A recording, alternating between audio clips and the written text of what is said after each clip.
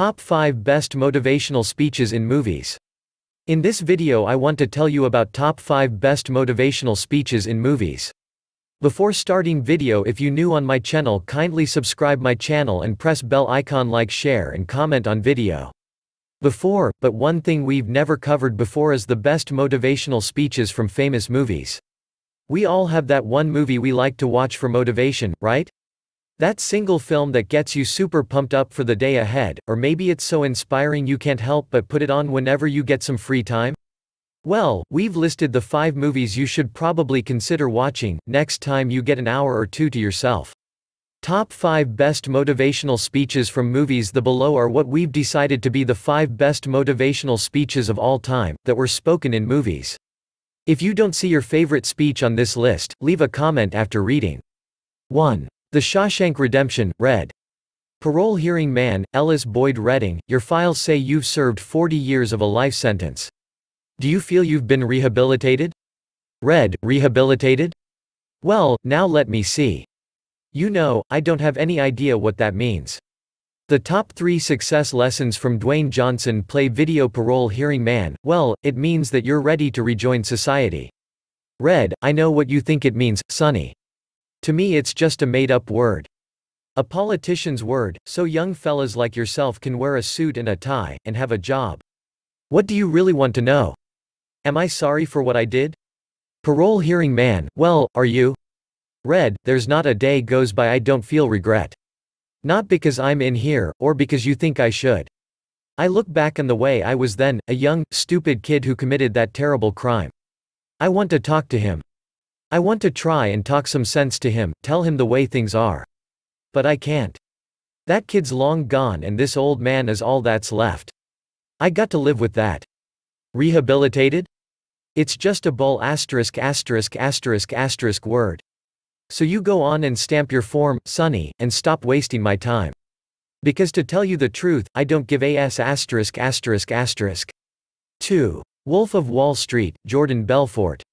I'm sure many of you have been hearing rumors lately, about me, about the future of this firm, and that's what I'd like to talk to you about today. Five years ago when I started Stratton with Donny Azoff, I knew the day would eventually come when I'd be moving on. It's truly with a heavy heart that I tell you that day is here. Thank you for that and for your years of incredible loyalty and admiration. The point is though, that under Donny's leadership, along with Robbie Feinberg and Nikki Koskoff moving into key management positions, this place is gonna be better than ever. And the fact that I'm gone won't stop me from giving Donny advice, not that he needs any. Before I go, there's something I want to remind you all, and that's this, Stratton Oakmont is bigger than any one person, even me. Especially me. You guys are Stratton, each and every one of you, and that is why it's sure to remain the best brokerage firm in the fucking world. See, the very idea of Stratton is that when you come here and step into this bullpen for the first time, you start your life anew. You have a place here and no one can take that away from you. Stratton Oakmont is America. Give me your tired and poor. The very moment you walk through that door and pledge your loyalty to this firm, you become part of a family, you become a Strattonite. It doesn't matter who you are, it doesn't matter where you're from. Whether your family came over on the Mayflower or on AF asterisk asterisk asterisk asterisk asterisk asterisk inner tube from Haiti. Everybody here knows Kimmy Belzer, right? In case any of you weren't aware of it, Kimmy was one of Stratton's first brokers, one of the original 20. Now when most of you met Kimmy, you met her the way she is today, a beautiful woman who drives a brand new Mercedes, a woman who lives in the finest condo complex on Long Island. A woman who wears $3,000 Armani suits, who spends her winters in the Bahamas and her summers in the Hamptons. But that's not the Kimmy I met. The Kimmy I met was broke, a single mom on the balls of her a asterisk asterisk. Three months behind on her rent with an eight-year-old son. She came to me for a job and when I hired her she asked for a $5,000 advance so she could pay his tuition. And what did I do, Kimmy? Kimmy, you wrote me a check for $25,000. Because I believed in you, like I believe in each and every one of you. Kimmy, I love you, Jordan.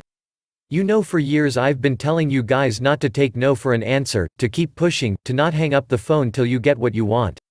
This deal I'm about to sign, barring me from the securities industry, barring me from Stratton, my home. What the F asterisk asterisk asterisk is that? I'll tell you what it is, it's me being a hypocrite. It's me taking no for an answer, it's them selling me, not the other way around. F asterisk asterisk asterisk it, I'm not leaving.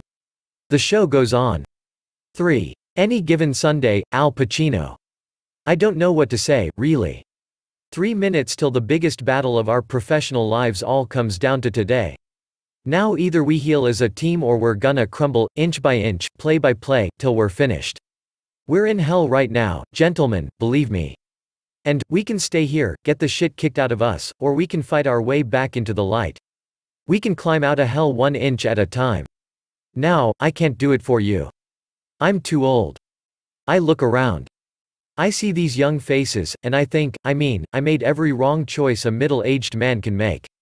I, uh, I pissed away all my money, believe it or not.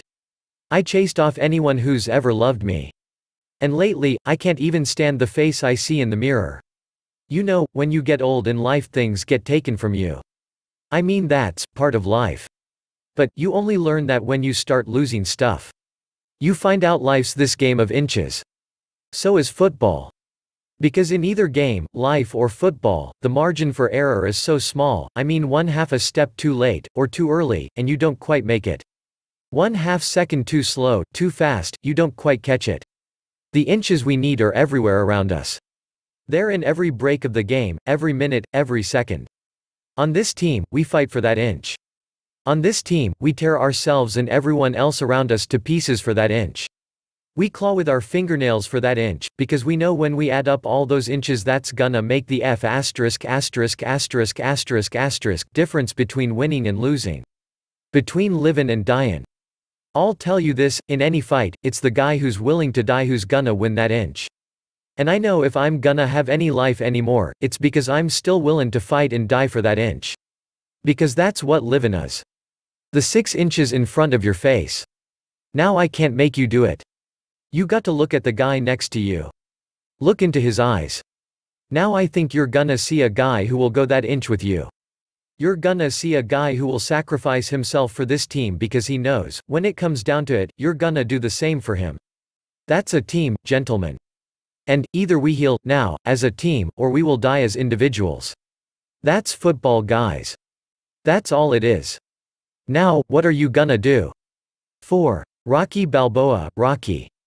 You ain't gonna believe this, but you used to fit right here. I'd hold you up to say to your mother, this kid's gonna be the best kid in the world. This kid's gonna be somebody better than anybody I ever knew. And you grew up good and wonderful. It was great just watching you, every day was like a privilege. Then the time come for you to be your own man and take on the world, and you did. But somewhere along the line, you changed. You stopped being you. You let people stick a finger in your face and tell you you're no good. And when things got hard, you started looking for something to blame, like a big shadow. Let me tell you something you already know. The world ain't all sunshine and rainbows. It's a very mean and nasty place and I don't care how tough you are it will beat you to your knees and keep you there permanently if you let it. You, me, or nobody is gonna hit as hard as life. But it ain't about how hard ya hit.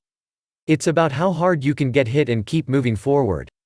How much you can take and keep moving forward. That's how winning is done. Now if you know what you're worth then go out and get what you're worth.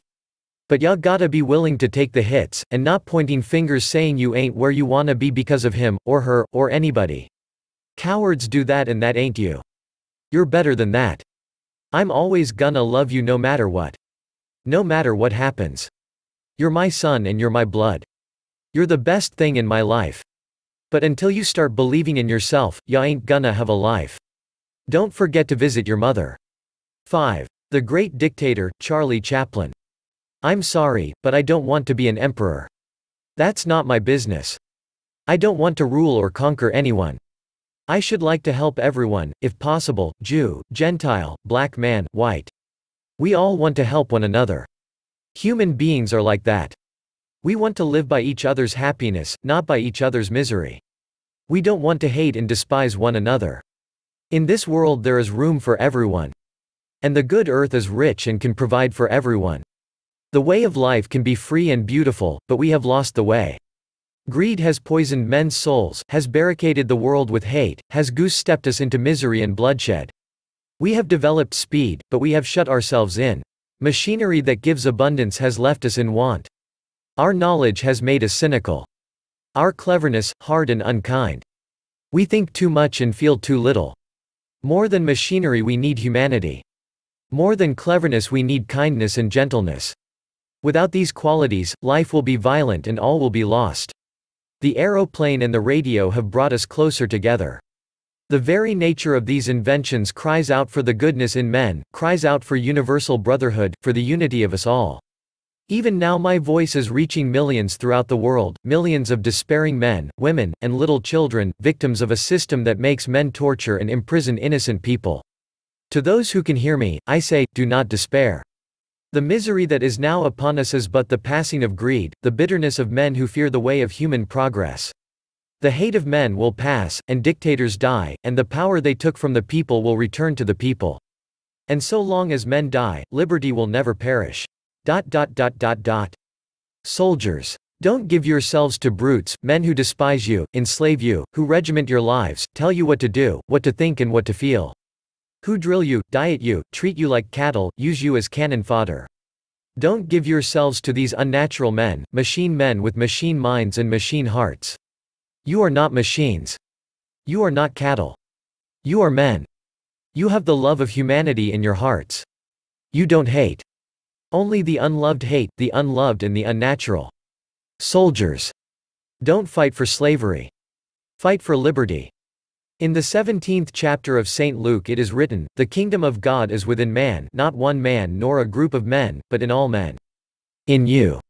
You, the people have the power, the power to create machines. The power to create happiness. You, the people, have the power to make this life free and beautiful, to make this life a wonderful adventure. Then, in the name of democracy, let us use that power, let us all unite. Let us fight for a new world, a decent world that will give men a chance to work, that will give youth a future and old age a security. By the promise of these things, brutes have risen to power. But they lie. They do not fulfill that promise. They never will.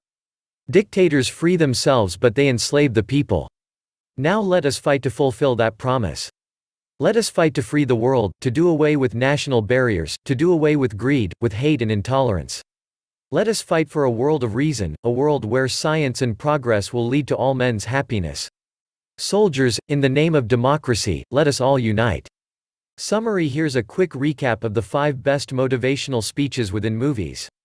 The Shawshank Redemption, Red Wolf of Wall Street, Jordan Belfort Any Given Sunday, Al Pacino Rocky Balboa, Rocky the Great Dictator, Charlie Chaplin Which are your favorite motivational speeches in movies? Leave a comment below. Friends don't forget to subscribe my channel. Like share and comment on video. Thanks for watching.